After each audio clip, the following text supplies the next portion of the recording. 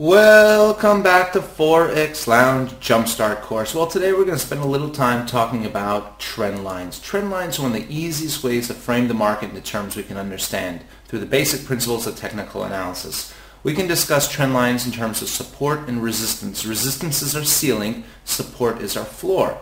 Now, in a downtrending market, it's always important to start with resistance. Draw resistance by connecting our two most significant high points draw a line connecting the two, and we can see the third time the market tests or comes very close to this resistance line and fails to break above, it's an appropriate spot to sell short with protective stops placed always above this resistance at a point where we do not expect the market to trade to.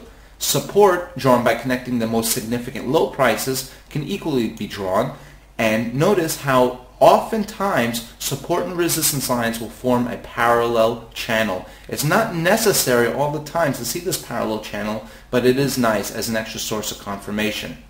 Pound dollar 4-hour chart shows us a downtrending market all the same, but not as clear. Draw our most recent significant swing highs. We can see here, one, two highs formed our resistance. The third time is an appropriate spot to sell short. Support can also be drawn by connecting the most recent significant low prices. In addition, notice that we can use horizontal price levels. Horizontal price levels, especially in the foreign exchange market, what was once support can become new resistance. What was once resistance can become new support. Notice how the market established a former low, double bottom pattern, and that eventually became our new high, our new resistance. Former support became new resistance. If resistance was broken, it very well could become new support. Dollar CAD daily chart shows a little bit more of a range-bound market. We can show our downtrending resistance lines and our uptrending support lines to emerge this triangle consolidation pattern. When drawing the downtrending resistance line, notice how we ignored two quick spike highs. I like to use the most recent market data so we can draw this line either in this fashion or connecting the most recent very, very significant high. All the same, our triangle does emerge. With a nice trading range between 119 to 127, that's about an 800 pip trading range that in a range-bound market, traders can use a buy low, sell high type of approach over and over again as the market fails to break out. Euro dollar, 4-hour chart, well, this shows us another downtrending market. Not a very clear trend, but again, I want to take most, my most recent significant spike highs to draw the resistance, most recent significant spike lows to draw support. If this emerges in a parallel fashion, that again is an extra source of confirmation, which is nice to see. Once more, draw our former very significant swing highs. This becomes our new resistance level. What was once resistance became new support and it's resistance again.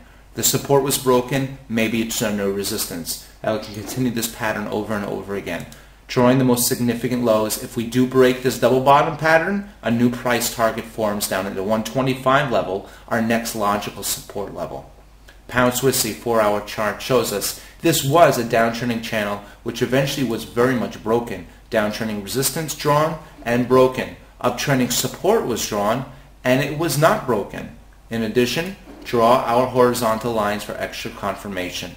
to our former swing lows. That did become our new resistance. Former support, new resistance, but not so fast. When a downtrending trend line or a trend line intersects with a horizontal level, that's an extra source of confirmation. 160, 170 was a big level. The pound Swissy broke out and very much continued to the upside.